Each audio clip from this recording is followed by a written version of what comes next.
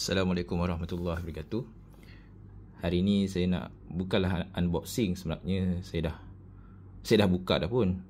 Cuma nak berkongsi uh, dalam hot ni dia ada satu peralatan hot iaitu pisau. Dan nak beli pisau ni daripada luar negara memang agak susah lah. Uh, boleh sebenarnya. Uh, dia ada syarat dia lah. Dia tak boleh lebih, lebih panjang daripada 12, 12 inci boleh dipost tapi risikolah juga kan. Uh, kalau nak beli dekat Iran tu pun masalah juga sebab dari segi nak transfer duit pun tak boleh. Jadi ada satu pisau ni saya suka tengok design dia. Nak beli kat Iran tak boleh jadi kita beli pisau alternatif lah. Uh, pisau ni Bugs Bugs knife. Established 1902 jadi kita tengok sikit pisau dia macam mana. Dia dalam kotak eh. Kotak besi ni. Tapi dia made in China ah tu yang pelik tu. Made in China. Saya tanya dengan yang jual ni, made in China ni ori ke? Dia kata ori sebab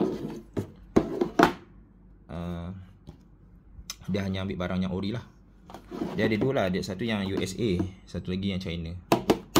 Tapi bagi saya kualiti dia tetap okey. Lah. Okey, pisau dia macam ni. Ini dalam dia. Ha, Itu dah pisau dia. Ha, Cuma dekat sini Dia macam ada Kalau tengok ada mesej ni Cuba tengok betul-betul. Ada satu benda yang menarik lah Untuk diperhatikan kat sini. Dia ada petikan daripada Bible.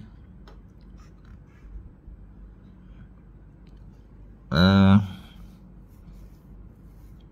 Cuba tengok kat bawah tu Ada John 3.16 Saya rasa John 3.16 ni popular lah kalau tengok uh, apa ni Ahmad Didan ya. Yeah.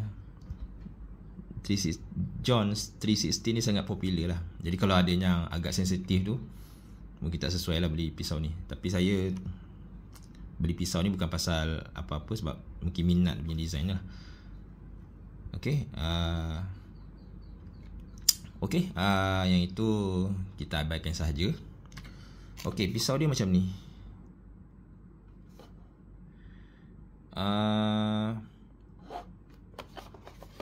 dia ada apa ni? Saya pun tak buka habis sebenarnya.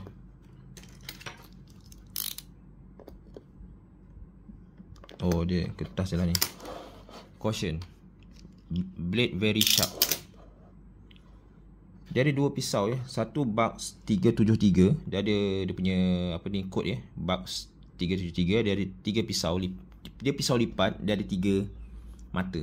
Satu lagi box 379. Yang saya saya nak tu mata pisau macam ni. Untuk pen hot, pisau hot uh, mata pen macam ni. Ah uh, mata pen pula. Mata pisau macam ni. Dia sesuai sikit untuk asah. Okey. Ni yang pertama.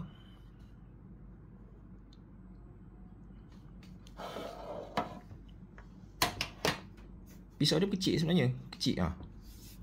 Setapak tangan lah. Pembaris. Mana pembaris. Cari pembaris dia.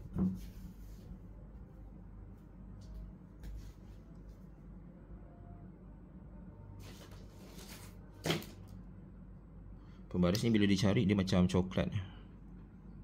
Macam biskut. Uh, Nah, lebih kurang macam tu lah.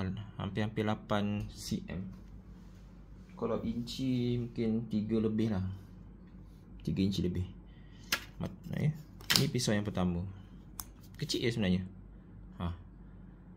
Dan nipis Yang ni nipis sebab dia Satu je kan pisau dia. Jadi dia nipis lah. Ha, Kita test dengan Kertas.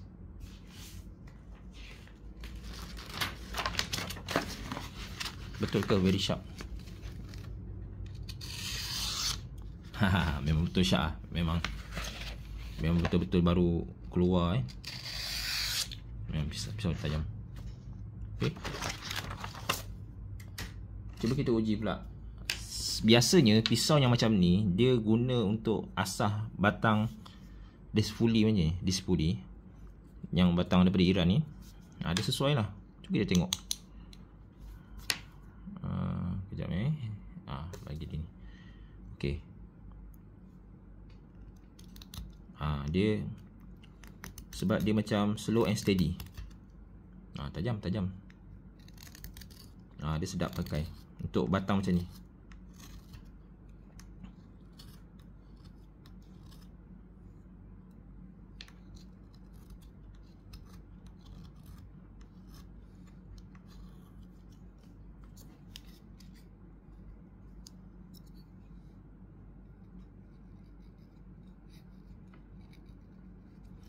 kalau untuk tempahan memang saya tak akan gunalah pisau macam ni. Bukan sayang.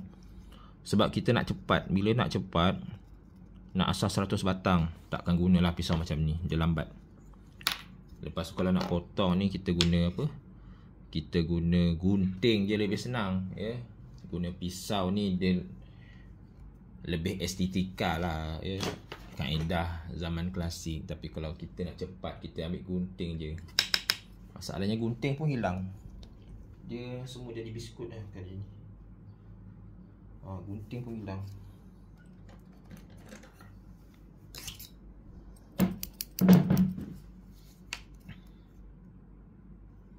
Dia panjang sangat pun tak sedap juga ya.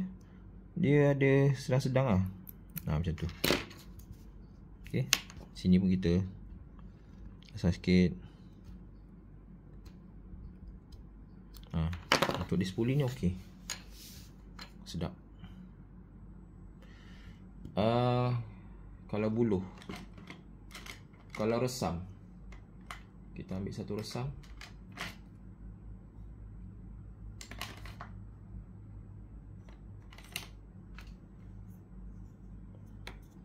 Tengok yang resam ni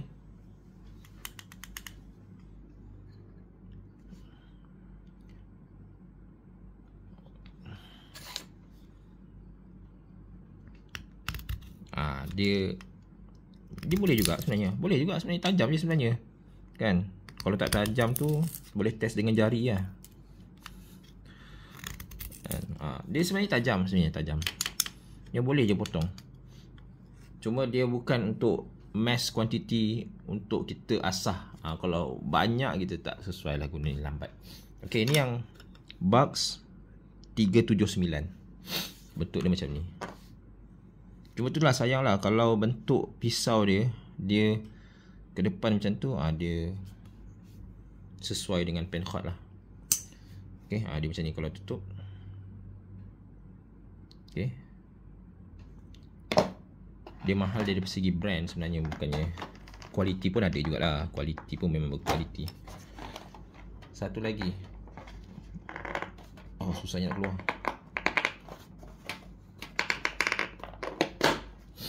Okey, ni yang kedua. Tutup dulu. Ha. Yang ni lebih tebal. Lebih tebal eh.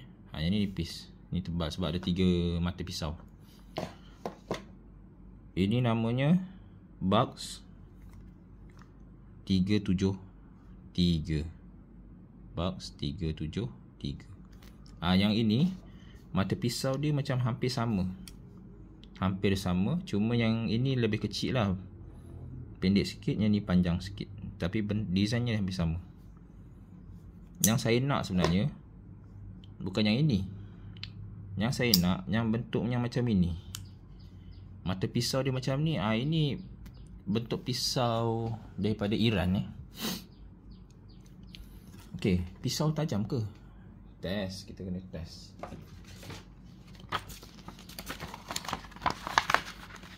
Hari tu saya dah asah guna Saya dah asah Satu batang pen. Kekal tak tajam dia? Masih lagi kekal. Jadi bukan sembang kosong lah Bukan Dia kata very sharp uh, Apa blade tu. Bukan sembang kosong lah Memang Pisau dia tajam. Okay Yang ni macam ni. Uh, Panjang bil dia punya hulu dia ni 8 lebih sikit lah. Macam tadi lebih kurang sama je sebenarnya. Kalau kita tengok hampir sama lah. Hampir sama. Panjang sikit lah panjang sikit. Ni 8 point 8.3 Yang ni tadi hulu dia 7.5 Ini hulunya 7.5 Okay Ni blade yang pertama Yang blade yang kedua lah Tadi yang pertama yang bentuk Tirus tu.